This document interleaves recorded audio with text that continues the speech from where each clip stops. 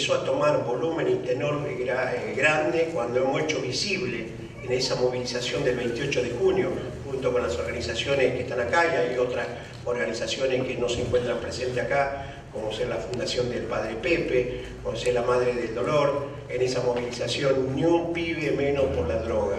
A partir de allí empezamos a recibir, empecé a recibir amenaza ya no solo en mi persona, sino que el día 5, por ejemplo, el día 5 eh, ya empezaron a, mandaron dos, eh, eh, dos personas no identificadas, por supuesto, en el barrio, a preguntar y a pedir que apuntaran quién era mi hijo más chico que de 10 años. Y a 6 de julio, a la noche, intentaron este, entrar a mi casa, trataron de forcejear el portón para abrir, es decir, un vecino, es testigo en la presentación judicial que hemos hecho en el día de ayer, también vio dos personas intentando con una barreta abrir el portón, con la gravedad de que esto ha tomado también este, en el día anoche, anoche justamente porque éramos tres lo que veníamos siendo este, amenazados eh, de distinta manera, de distinta forma, pasa que conmigo se agarraron, eh, ya era en forma casi permanente todos los días, el día 9 de julio, en el festejo que tuvimos en La Matanza,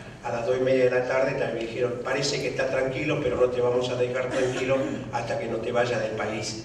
Eso fue eh, el 9 de julio, el día sábado. el día anoche ha tomado ya otro, este, ya empezaron a ejecutar eh, estos tipos eh, que desconocidos, no sabemos de dónde vienen. Es decir, el mismo día sábado también tuvimos reunidos con Toti Flores, que vive allí en Matanza, también con un responsable de seguridad y la respuesta de ese responsable de seguridad ahí nos, hicieron, hizo temer mucho más todavía porque nos contesta que yo ponía a disposición todo, el teléfono, el Facebook, todo lo que tenía a mi alcance, que ponía a disposición, que me lo tomaran y que investigaran cómo era. Y la contestación es que eh, eh, lo ha superado tecnológicamente toda esta gente que está trabajando en la, oscuridad, porque tampoco pudieron descubrir toda la filmación que le han hecho y lo que le han hecho a la gobernadora y a la secretaria de la gobernadora. Dijeron, bueno, estamos, estamos fritos, este, si esta contestación justamente de un responsable de seguridad.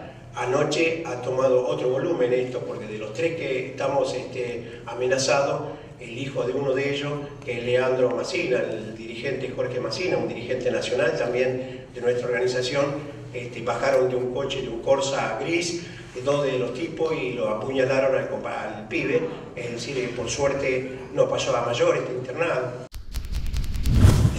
Yo le decía a Juan Carlos, expresaste tus sentimientos, no te quebraste, estás firme como un roble. Y su firmeza también nos alienta a todos que se contagien. Así que, bueno, desde nuestra Asociación Trabajadora del Estado y de todas las organizaciones que formamos parte de nuestra Central de Trabajadores Autónomos, estamos hoy acá para una vez más eh, dar juntos esta, esta, pelea, esta lucha. Eh, y lo mejor es hacerlo así. Nuestra seguridad es la seguridad pública, es la seguridad que nos dan nuestros compañeros, que nos da la sociedad, porque en el debate público es donde vamos a ir rompiendo las sombras desde donde emergen estas amenazas. Los males de la democracia los vamos a resolver con más democracia y eso requiere más protagonismo individual y colectivo. Y por eso es que estamos acá, simplemente afirmarnos en esta convicción una vez más, en esta solidaridad, en el afecto personal y en el respeto militante con Juan Carlos y con los otros compañeros que han recibido estas amenazas y con su familia, que bueno, que es ahí sí es donde más nos duele cuando Eh, así que bueno, eh, con firmeza, con decisión, Juan Carlos, estamos con, vos, con tus compañeros, con tu familia y, y como siempre peleando juntos. Gracias. Traigo la solidaridad de nuestro secretario general, Emilio Pérsico, y del conjunto del movimiento Evita.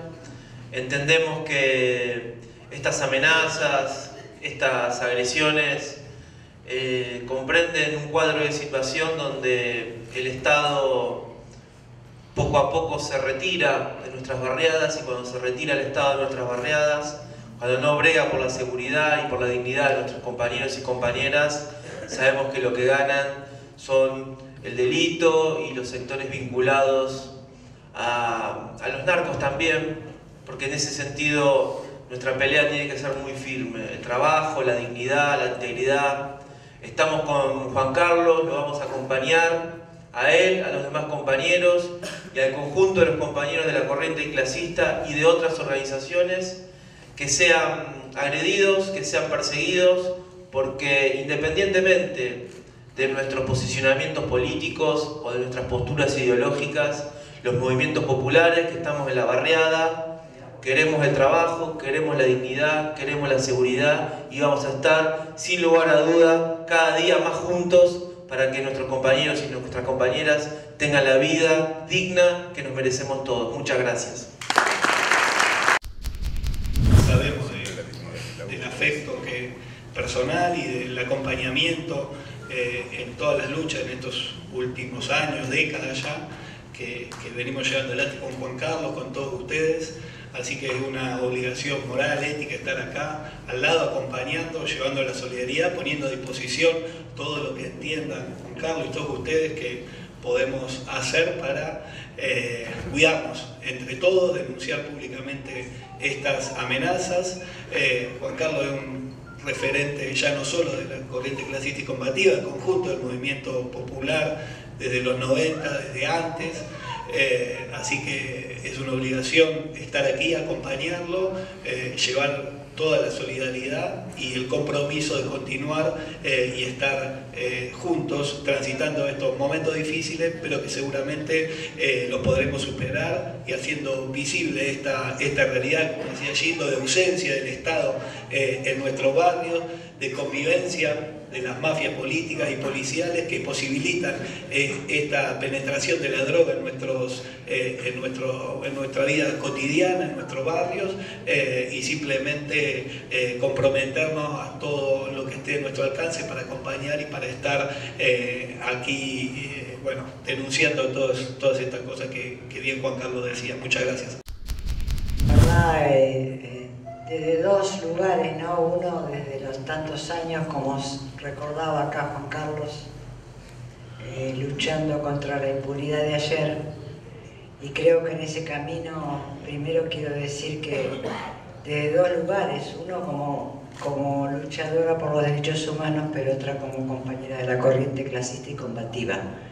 Digo, eh, doble obligación sentimos de de seguir eh, luchando. nosotros elaboramos una consigna durante el gobierno de Cristina Fernández, que es no a la impunidad de ayer y de hoy, porque consideramos que solo luchar por los 30.000 es muy importante, saber la verdad y la justicia, pero hay miles de compañeros que fueron eh, encarcelados durante la época kirchnerista y se sigue procesando a los compañeros. Por lo tanto, en esa lucha yo creo que las amenazas tienen que ver con que el pueblo argentino sigue luchando y sigue tratando de uniéndose cada vez más para llegar a lograr esa Argentina por la que lucharon 30.000, pero también lucha el pueblo argentino.